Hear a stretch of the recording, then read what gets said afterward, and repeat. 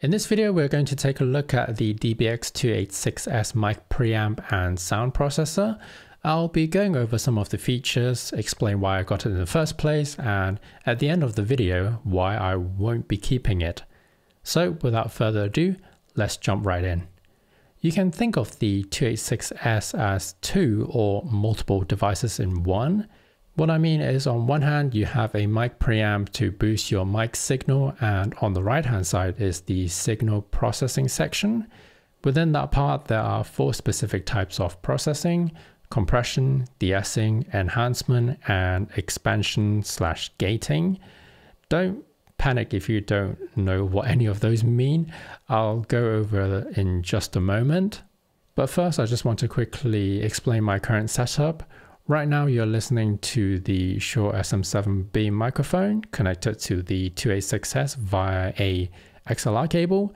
The signal is being processed by the DBX and recorded with my Tascam DR60D Mark II. You can feed the signal directly to a camera that supports line level input or a audio interface connected to a computer, for example. Next, we are going to go over each section to explain what it does. If you don't want to sit through this section, just check the timestamp down below to skip ahead.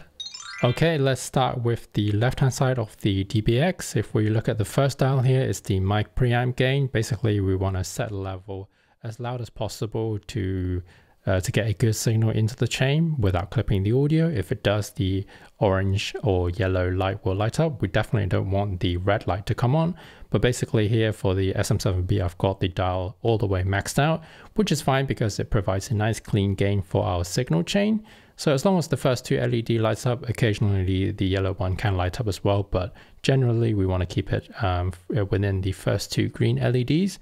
And then if you need phantom power, it does provide 48 volt phantom power, but the um, Shure SM7B doesn't need it, so don't turn it on. And then moving on, we have a high pass filter. If we turn it on, it tends to remove some of the lower frequencies. But personally, I like to keep it full, a nice full signal, so I'll leave it off. And moving on, we have the bypass button. If we turn it on, then it turns off all the bypass and it just uses the mic gain. But assuming that you want to use all of it since you made the purchase.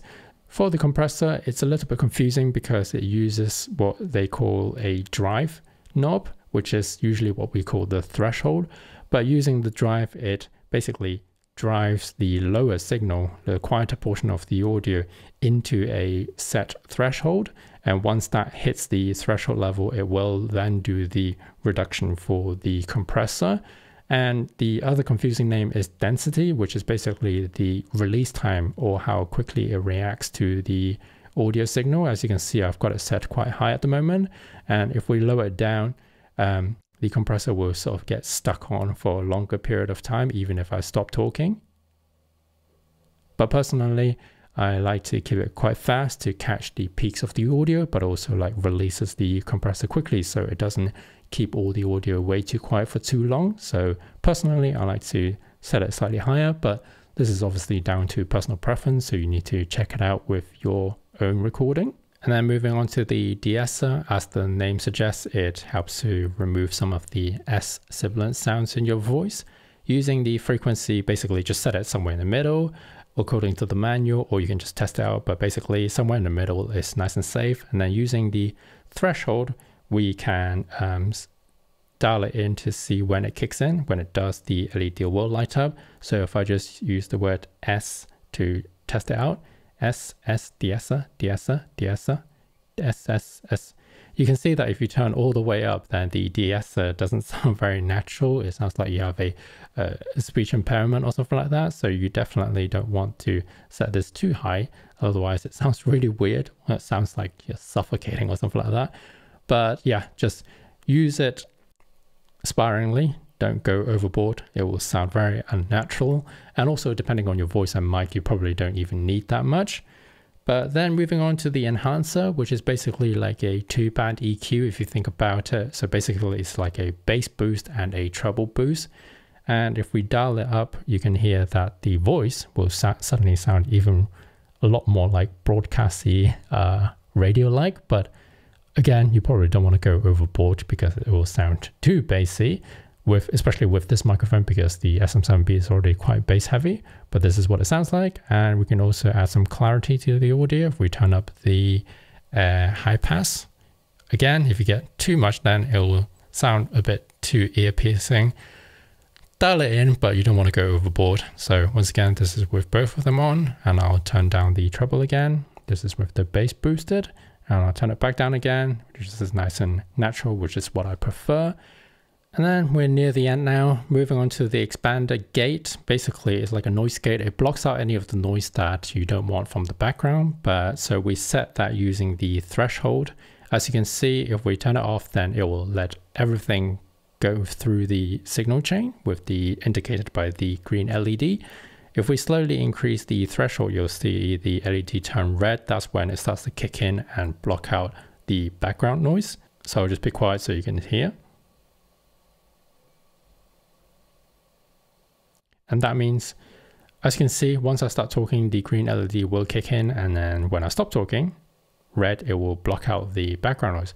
But you can also set the ratio. Basically, that will tell you how much it reduces the background noise. You don't want it to be too much. So here I've got it set to about 1.5 to 1 the ratio. But if I turn it up, then hopefully you'll be able to hear how much of the background noise it cuts out.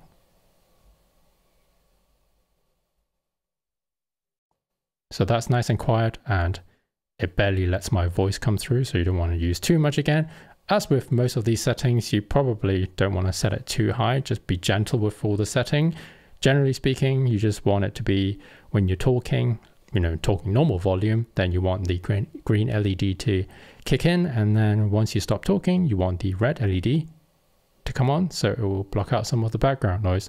And then finally, just the last one, depending on your recording device, you can also add some further gains using the output here, or if the signal is still too loud going into your recording device, you can reduce the output. But if you require more volume, then you can, it's almost like an extra last output boost gain stage on this signal chain. But generally speaking, if you set the mic preamp to the correct level and use some of the compressor that already boosts the signal anyway. But if you, again, if you do need more gain, then you can use this dial, but you just want to make sure that you don't want to clip the audio. So there's an extra LED here to make sure that the audio doesn't get clipped. Whew, all right. Hopefully that wasn't too boring. And thank you if you did listen through that entire section. Now that we know what the unit can do, that kind of explains why I purchased this device in the first place.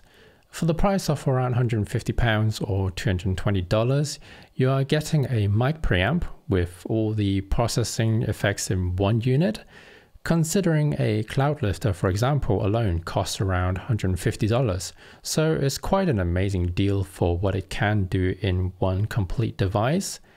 I purchased the 286S along with my SM7B as I was sure that the Tascam or my camera wouldn't be able to drive this hungry microphone. And in the past, I would literally do all those processing in software anyway. I was hoping I could speed up my entire editing process by doing this in the signal chain itself. Of course, there are cons with this method. If you mess up the settings, the audio will be ruined and baked into the recording. I'm sure some of you might be wondering this point exactly. Most processing can be done in software using plugins. Why take the risk and pay more for a hardware version? For one, although not applicable to me, is if you do live streaming for games or podcasts, for example, then you probably want to do it in real time since you can't really process it afterwards, since it is live.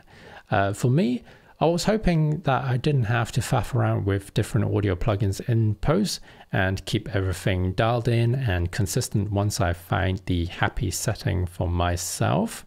But as it turns out, even though this unit impressed me a lot, I won't be keeping it. And the reason is, in the past, I would apply a ton of audio filters to my audio with my other older mics. But what I have found with the SM7B is that I don't actually need the de-esser or the EQ and it picks up way less of the background noise anyway. So basically most of the function that this unit provides, which I have explained in the demo section and thought I needed in the past was no longer needed for the SM7B.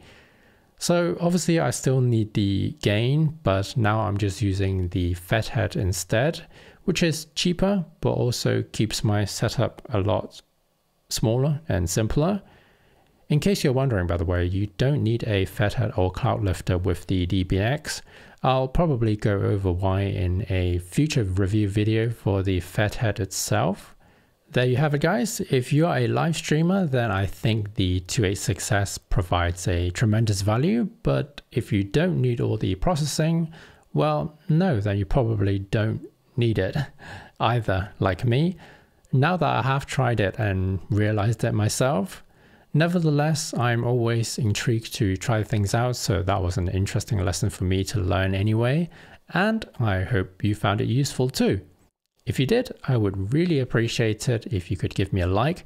It would help me out tremendously for my channel. As always, a huge thank you for watching. My name is Joe, and hopefully, I'll see you in the next video. Bye bye for now.